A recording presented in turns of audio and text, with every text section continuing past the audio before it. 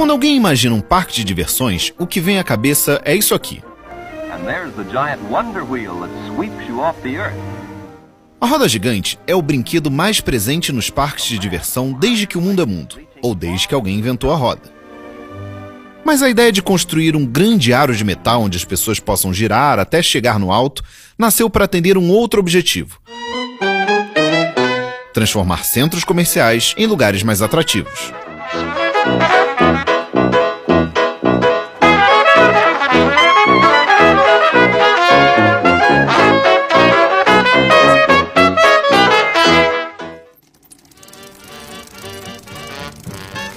Em 1893, os Estados Unidos se preparavam para sediar o maior evento industrial da época, a Exposição Mundial de Chicago. Vários países levaram cientistas e engenheiros para mostrarem suas invenções, inclusive o Brasil. Aquele foi o primeiro século dos americanos como nação independente. Era uma celebração da nova identidade cultural que estava nascendo naquele novo país. Os americanos queriam algo que pudessem ver e tocar.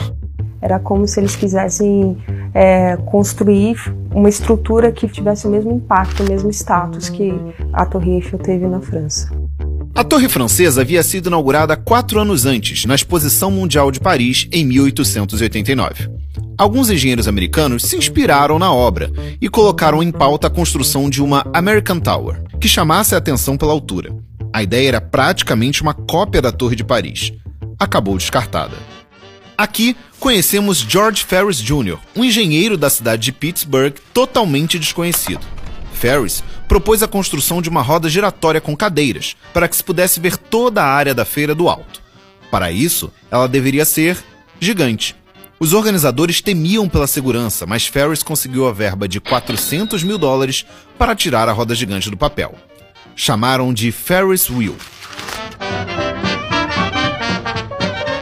Primeira roda gigante pesava 2 mil toneladas e podia levar 2.160 pessoas de uma vez.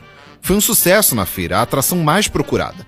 Com 80 metros de altura, tinha 36 cabines, cada uma do tamanho de um ônibus escolar, com capacidade para acomodar 60 pessoas. Cada volta demorava 10 minutos. Cerca de um milhão de pessoas a um milhão e meio de pessoas andaram na roda gigante durante a exposição de Chicago, um sucesso absoluto.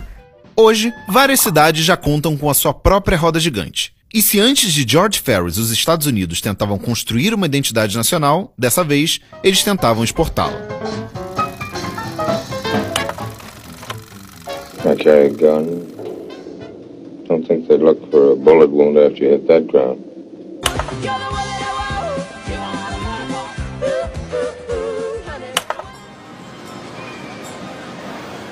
Are you trying to say you want to kiss me?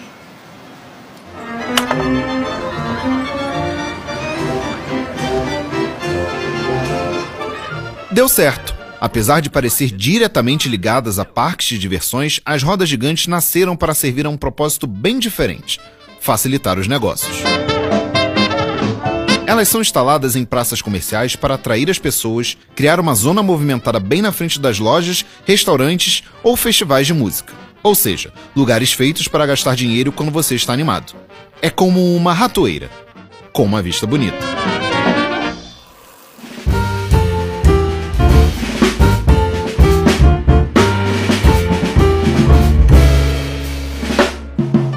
Em 2019, o Rio de Janeiro ganhou sua própria roda gigante, a Rio Star, na região revitalizada do Porto, que recentemente recebeu museus e espaços de convivência.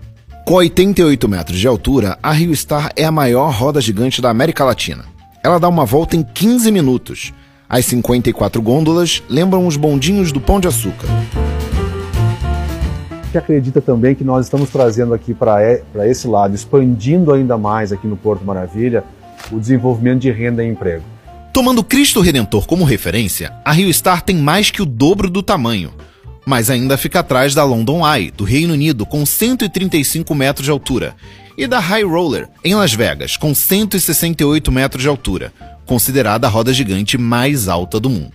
Todos olharão para a roda como mais um benefício local do que algo que venha para atrapalhar ou alguma coisa assim. As rodas gigantes urbanas tendem a se transformar em verdadeiros cartões postais das cidades em que são instaladas. A Singapore Flyer, com 165 metros de altura, é uma das principais atrações de Singapura. A Melbourne Star, na Austrália, tem o título de maior roda gigante de observação do hemisfério sul, um sucesso nas selfies. Já a Tianjin-Ai, na China, conquistou os turistas por ser a única no mundo construída sobre uma ponte. Não faltam exemplos bem-sucedidos mundo afora. O Rio de Janeiro não carece de cartões postais, mas sempre tem espaço para mais um.